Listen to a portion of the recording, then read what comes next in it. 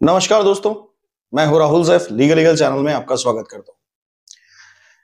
देखिए, एक प्रॉपर्टी, पैसा ज्वेलरी गोल्ड और भी बहुत सारी चीज़ें होती हैं, बहुत सी महँगी एसेट्स होती हैं जो पति पत्नी के बीच में, आपस में लेन देन में चलती रहती हैं। खास तौर से शादी से पहले, शादी के बाद या उसके आसपास होता रहता है। अब क्या होता है कि जब आपका लीगल सेपरेशन हो रहा होता है या आपका डाइवोर्स होने वाला होता है या फिर चलते केस के अंदर, आप क्या उस तरह के पैसे को डिमांड कर सकते हैं अपनी वाइफ से?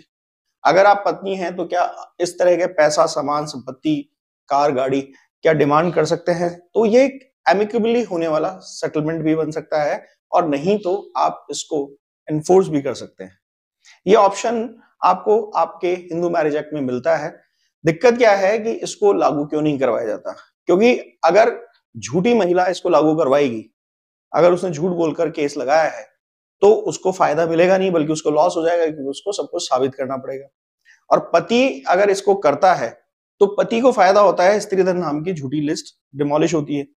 बट ऐसा अक्सर मुझे लगता है, शायद पतियों के खिलाफ किसी षड्यंत्र की वजह से या गलत गाइड करने की वजह से, इस तरह की रेमेडीज को हस्बैंड को नहीं दिया जाता। इसीलिए दोस्तों हम कहते हैं कि आप एजुकेटेड हुई एजुकेटेड होने से आपको खुद अपने केसेस की समझ पैदा होगी और रिज़ल्ट निकाल पाएँगे आप। क्रैश कोर्स इसी के लिए है जिसके अंदर आप अपनी तैयारी खुद कर सकते हैं। या फिर आप चाहते हैं कि आप अपना केस खुद लड़ें या अपने केस को डायरेक्ट डील करें, चाहे वकील हो तो भी। पर मैं और मेरी टीम अपने अनुभव को आपके साथ जोड़े, जिससे कि आपको एक तो नॉलेज तेज़ी से मिले। आपको ढूंढना, टटोलना रिसर्च करना, ये सब में नहीं फंसना पड़े। जब आपके सामने समस्या है, तुरंत एक रेमेडी एक रिलीफ आपके लिए तैयार हो। एक सॉल्यूशन आपके लिए रहे। तो ये है हमारे अनुभव की पावर आपसे पहले जितने लोगों ने इन कोर्सेज को ज्वाइन किया, वो इन्हीं चीज़ों का आनंद ले रहे हैं और बहुत मज़े में लाइफ को बहुत स्ट्रांगली जी रहे हैं। इस वक्त जब आप लोग अपनी केस की टेंशन कर रहे होंगे मेरी टीम के लोग जिन्होंने हमें ज्वाइन कर रखा है, जो हमारे कोर्स होल्डर्स हैं, वो एंजॉय कर रहे हैं। वो पूरे दस दिन एंजॉय कर रहे हैं।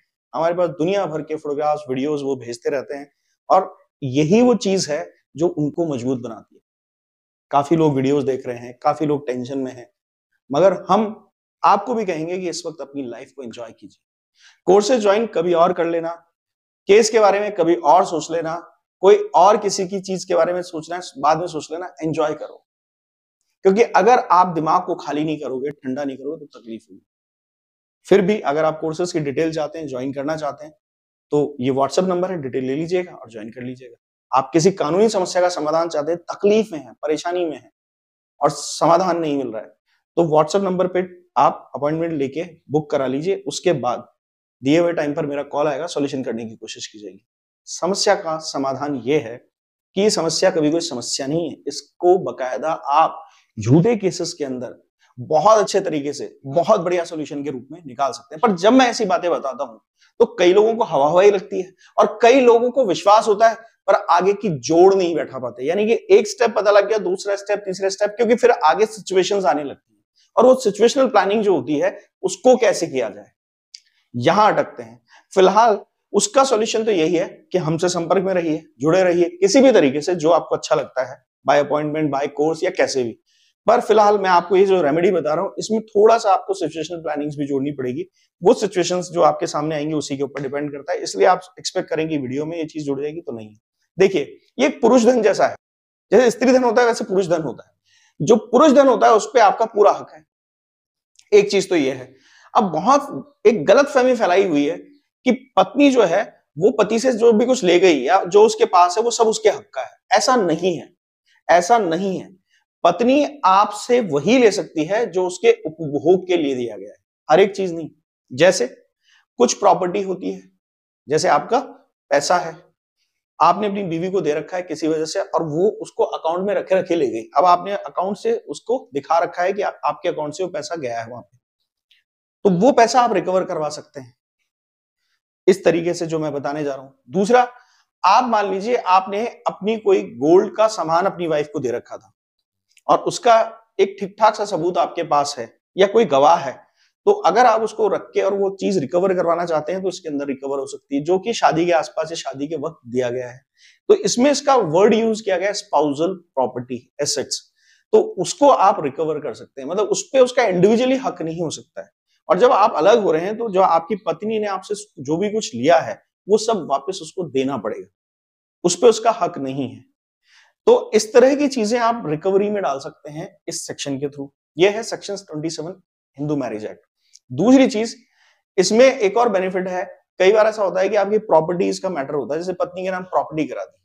और जो मकान आपने करा रखा है, असल में उसका सारा पेमेंट अब तक आपने दिया या उसकी किस्तें ई एम आप ही भर रहे हो, पत्नी का कोई योगदान नहीं है, बस नाम करा दिया। तो इसको भी आप जब रेवेन्यू डिपार्टमेंट में प्रॉपर्टीज़ एक्ट के साथ इसको अटैच करते हैं तो ये भी सेटलमेंट हो जाता है। मतलब इसमें अगर आपकी पत्नी जो है, अगर आप डाइवोर्स डिग्री के साथ जा रहे हैं डाइवोर्स ले लिया है, या अपील भी कर रहे हैं तो एक बार इसको भी साथ में आप लगा देंगे तो आपकी वो प्रॉपर्टी भी रिलीज़ होने की पोजिशन पे आ जाती है। यानी एक सेटलमेंट होता है कि भाई ठीक है, आप दोनों अलग हो रहे हैं आप साथ नहीं रह सकते तो सेटलमेंट कर लीजिए। समझ गए? तो इस तरह की चीज़ें जो होती हैं, इनके बिल्स होने चाहिए आपके पास एविडेंस होने चाहिए, या फिर आपके पास गवाह होने चाहिए। रिलीफ मिलता है और हंड्रेड परसेंट मिलता है। इस पे जजमेंट तो बहुत सारे आए हैं, पर इस पे मैंने देखा है कि अक्सर लोग प्रैक्टिस करते हुए नहीं मिलते, जबकि आपके हिंदू मैरिज एक्ट में ही लिखा हुआ सेक्शन मैंने आपको बताया।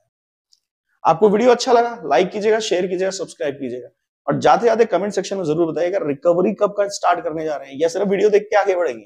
Thank you